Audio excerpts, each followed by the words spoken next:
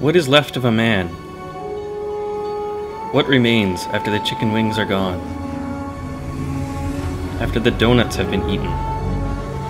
When all the stories have been told? What is a man without all these things? We're home, Higgins.